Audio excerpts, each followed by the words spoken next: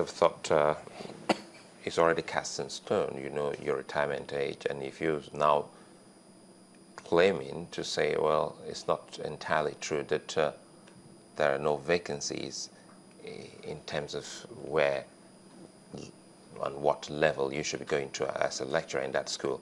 So what, what then should you now say is the cause of all of this? Because they still maintain that, uh, well, there are no vacancies, and they also maintain that the retirement age should also be tweaked.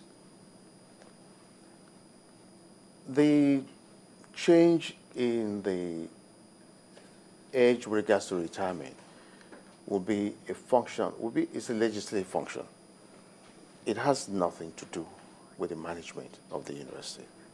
Um, but there's something I know, that even, if, and of course it affects only those uh, in the professorial cadre.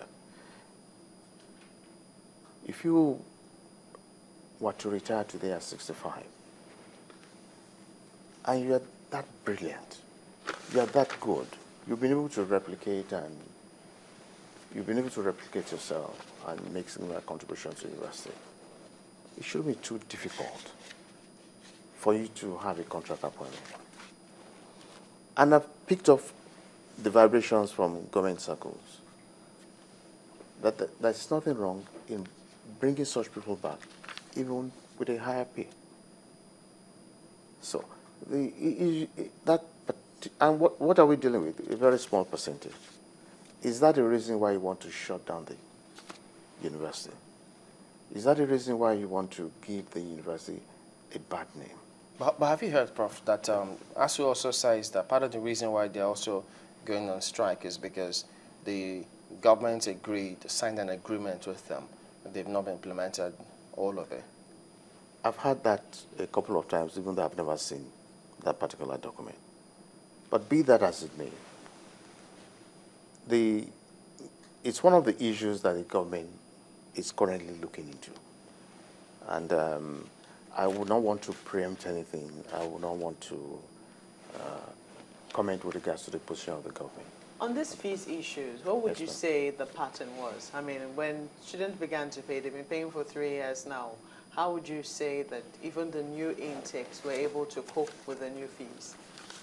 As a matter of fact, the freshers that we that we admitted, at the last time I checked it, over 90% of them have paid their money, the freshers. Uh, over 90%? 90% of the freshers. Which set of the freshers? The very first ones who had to pay or No, I'm even talking about the people the that, would, that just, the last set that just came into 100 level. There's something else again I need to point out.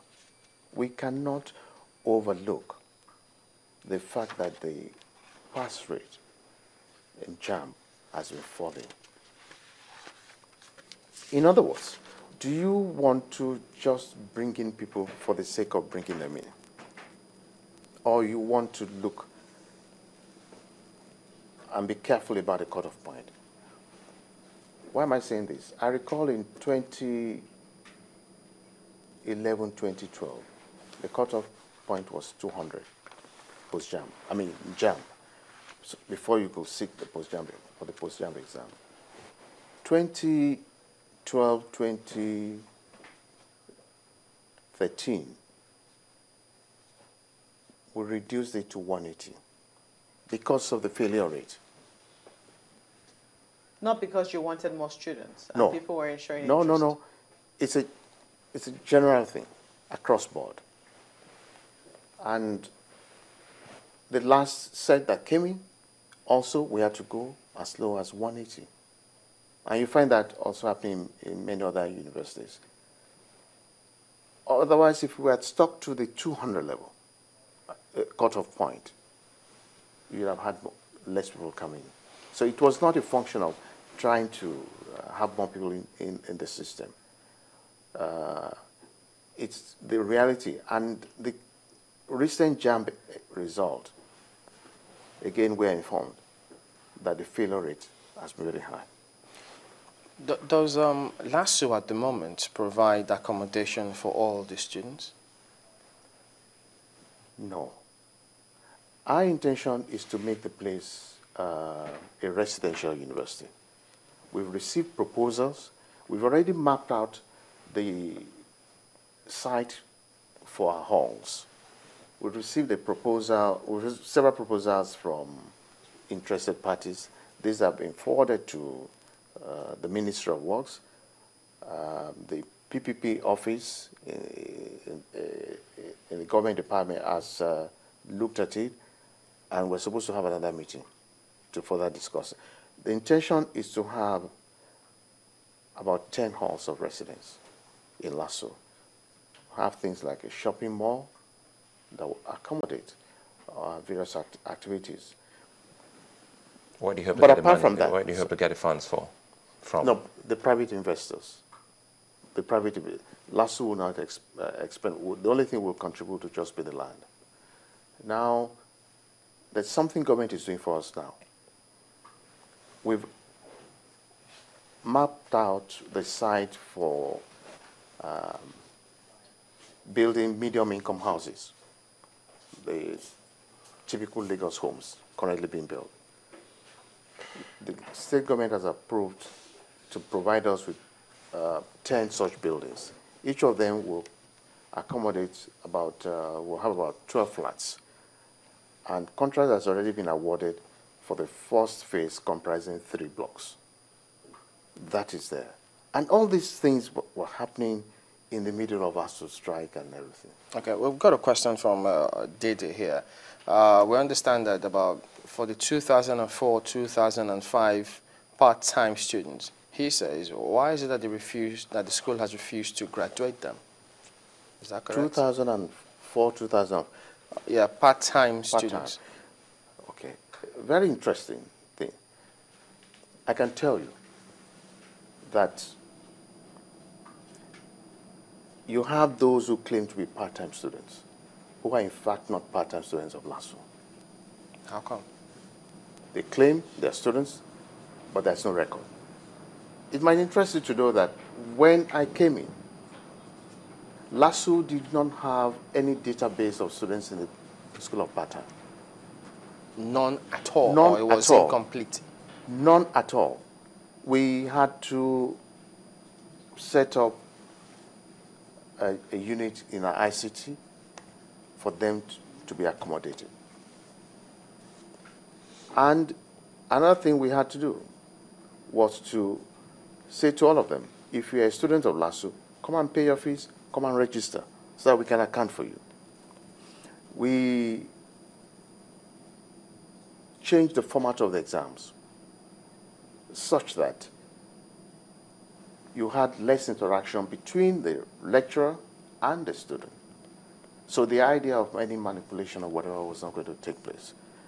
And we got things set up such that the last two exams, within 48 hours, we had results on the website.